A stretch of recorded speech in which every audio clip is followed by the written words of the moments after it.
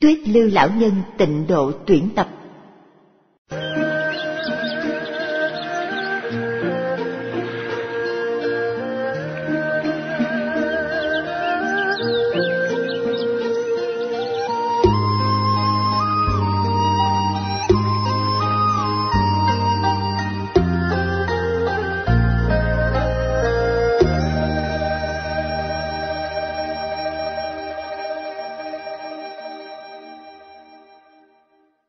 tuyển tập những bài viết về tịnh độ của lão cư sĩ Lý Bỉnh Nam. Trích dịch, Bửu quan tự, đệ tử Như Hòa. Phần thứ nhất, Những đoạn văn trích từ bộ Hoàng hộ tiểu phẩm. Pháp tu thành tựu ngay trong đời này. Một La Mã. Phải nhận thức rõ hoàn cảnh hiện tại và đường lối tương lai. Một đời người nhiều nghịch cảnh. Có ai là không bị bệnh hoạn già suy, thân thuộc sanh ly tử biệt, của cải mất mát, oán thù gia hại? Lại còn kẻ nghèo mong cầu tiền của, người không con cầu con, kẻ vô nghề nghiệp chức vụ mong có nghề nghiệp chức vụ. Nhưng rốt cuộc rồi mấy ai được như ý? Những điều bất như ý ấy làm cách nào để giải quyết đây? Hai, cõi đời này lắm tai nạn. Gió bão nổi dậy, địa chấn phát sanh, tường đổ nhà sập, khiến lắm người bị tử thương. Lại còn không mưa thành đại hạn, mưa quá thành lục, mất mùa, khiến lắm người bị chết đói. Nước lớn tràn dân chìm ngập thôn trang, lửa to bốc cháy, thiêu tan thành thị, khiến lắm người bị tử thương những chuyện như vậy gần như năm nào cũng có. Lại còn có năm chẳng thái bình. Có những quốc gia trên thế giới chẳng nghĩ gì đến lẽ nhân đạo, luôn gây dã chiến tranh. Lại còn phát minh những vũ khí giết người tối tân. Nào là bom nguyên tử, nào là bom kinh khí. Chỉ sợ là chẳng giết được thật nhiều người mà thôi. Còn bảo như vậy mới là thế giới tiến hóa, chứ nói trắng ra chỉ là một lò sát sanh lớn thử hỏi ai có biện pháp nào tránh khỏi những tai nạn như thế hay không? ba Nỗi khổ luân hồi của thân sao Rất đáng thương thay, người chết chẳng phải là hết, vì thân tuy chết đi, thần thức chẳng diệt.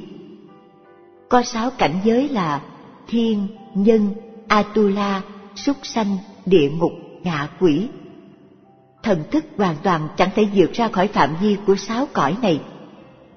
So trong lục đạo, cõi trời, cõi người còn khá, nhưng vẫn có sanh tử xoay dần qua qua lại lại.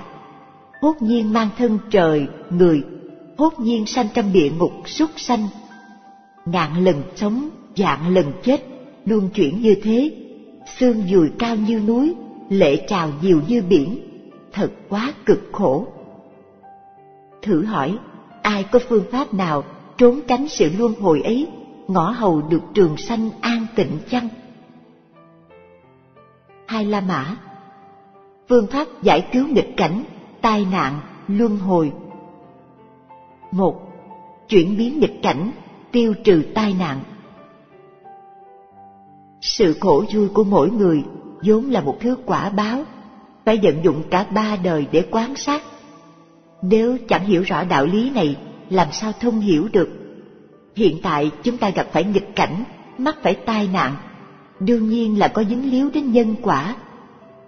Cách để chuyển biến, tiêu trừ chúng nhanh nhất chính là niệm Phật. Trong kinh từng nói, chí tâm niệm Phật một câu, tiêu trừ được trọng tội trong tám mươi ức kiếp sanh tử.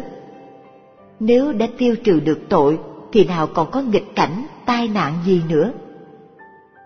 Kinh còn dạy người niệm Phật A Di Đà được vô lượng vô biên chư Phật ở bốn phương, thượng, hạ, hộ niệm. Phật là bậc pháp lực vô biên dạng đức, dạng năng, đã được Phật gia bị thì còn sợ gì tai nạn cơ chứ? Hai, thoát khỏi luân hồi, trường sanh vĩnh viễn.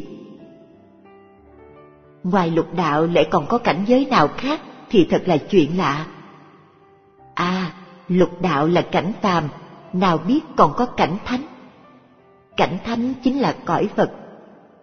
Trong các thế giới ở phương Tây, có thế giới cực lạc là quốc độ của Phật A-di-đà, hoàn toàn do bảy báo tạo thành, trang nghiêm thanh tịnh. So với bất cứ cõi thiên cung nào, thế giới cực lạc cũng tốt đẹp hơn ngàn dạng dạng lần. Điểm tuyệt diệu nhất là thọ mạng vô lượng, chẳng giống như cõi trời, cõi người, sanh tử chẳng ngừng trong lục đạo. Trong kinh có dạy, nếu ai sanh về đó, thân đều sắc vàng, quang minh chói lọi, thần thông đầy đủ.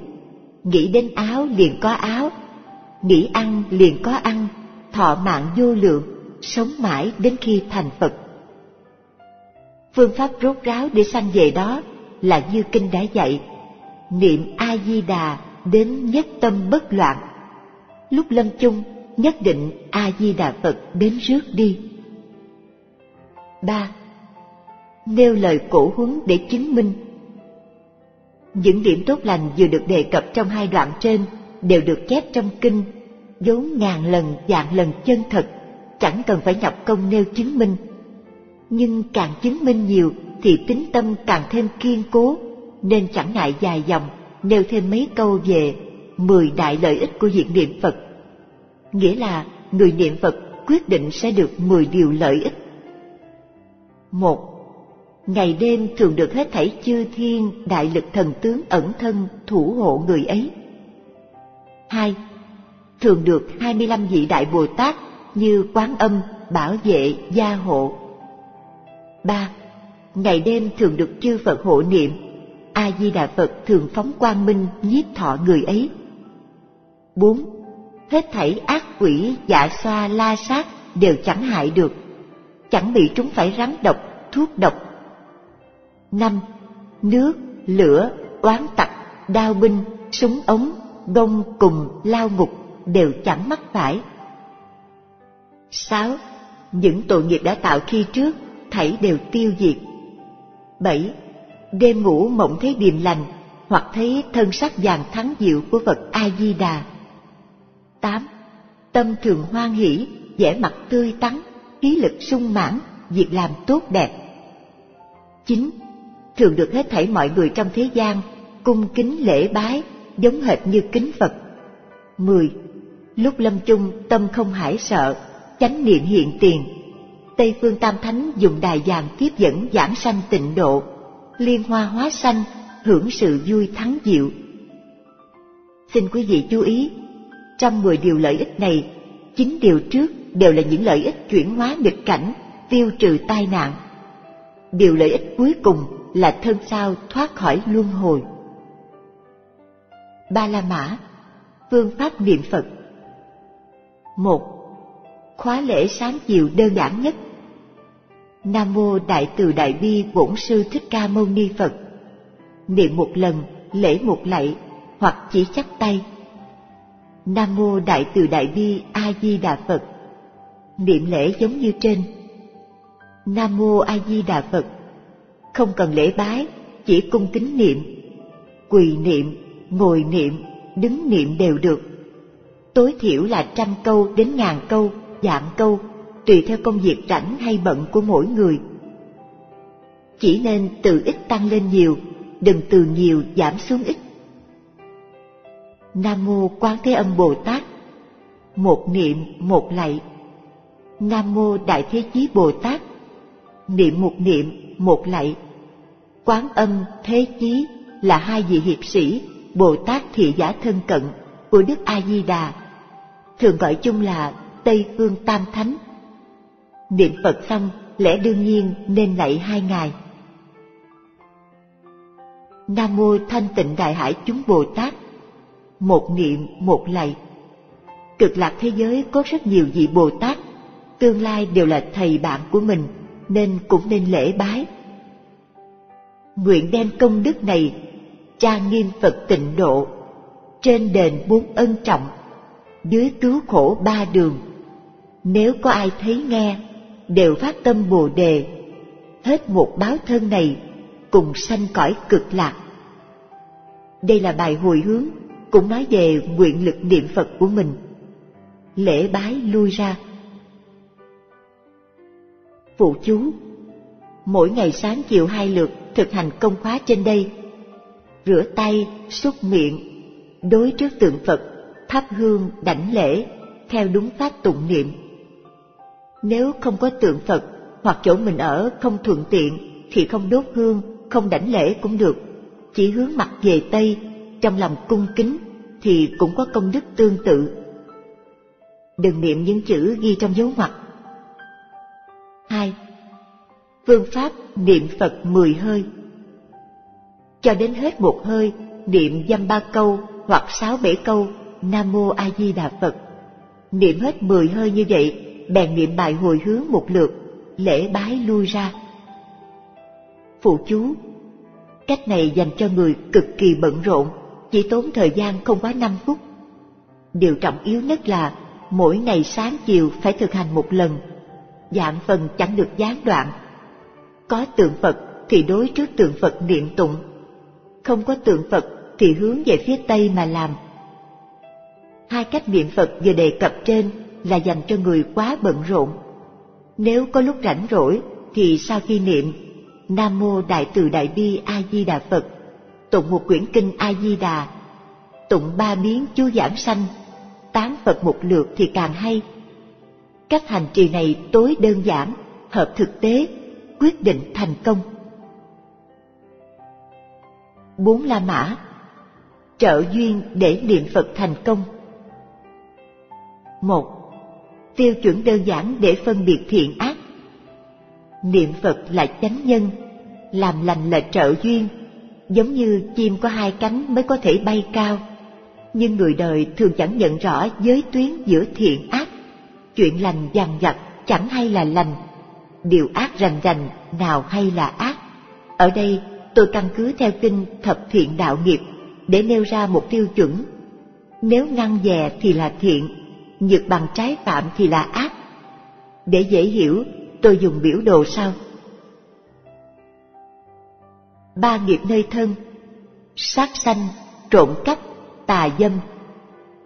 Bốn nghiệp nơi miệng, nói dối, giọng ngữ, nói theo dệt, ý ngữ, ác khẩu, nói đôi chiều, lưỡng thiệt. Ba nghiệp nơi ý, tham, sân, si. Phàm là động vật có sanh mạng, bất luận lớn hay nhỏ, cứ làm thương tổn chúng đều là sát sanh. Phàm là tài vật hay danh dự, dù nhiều, ít, lớn, nhỏ, nếu chẳng phải là vật của mình, chưa được đối phương chấp thuận mà công khai đoạt lấy hay trộm lén, cưỡng chiếm, lừa lấy thì đều là trộm cắp. Ngoài vợ chồng chánh thức, hễ hành dâm với hết thảy chúng sanh, chẳng luận vì lý do nào đều là tà dâm ôm lòng khinh lừa, nói lời giả dối thì gọi là giọng ngữ.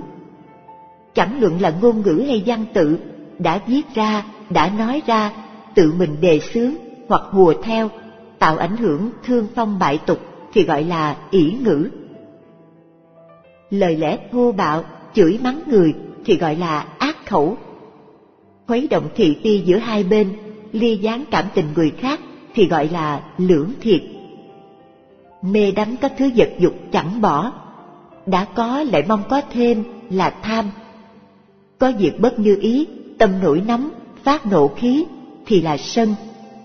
Không có lý trí, gặp việc mê hoặc, đối với đạo lý phật nói, kinh sách thánh hiền đều chẳng nghe theo, lại chẳng tin nhân quả thì là si. Hai ba đại yếu quyết để giảm sanh cực lạc tính hạnh nguyện. Niệm Phật giảm sanh cực lạc là một phương pháp đặc biệt ngoài tám dạng bốn ngàn pháp môn của Phật, được gọi là môn dư đại đạo. Đạo lớn nằm ngoài các pháp môn. Sự tuy đơn giản, lý thực thâm áo, chẳng thể dùng dăm ba câu trình bày tường tận được. Cần phải biết là Đức Phật đạo đức tối cao không ai bằng được. Lời Ngài nói ra tuyệt không dối người, chỉ nên tin thật có cõi cực lạc, niệm Phật được sanh về đấy. Đó chính là yếu quyết thành công thứ nhất. lại phải chịu nhận rõ đời ác ngũ trượt đây phát khởi tấm lòng chân thật nguyện sanh về thế giới cực lạc đấy chính là yếu quyết thành công thứ hai đã tính nguyện rồi lại nên theo đúng phương pháp mỗi ngày định giờ giấc thực hành công khóa. Đấy chính là yếu quyết thành công thứ ba. Năm la mã. Những bậc tiền bối mô phạm và kinh điển nên tham khảo. Một một vài vị sư trưởng cổ kim.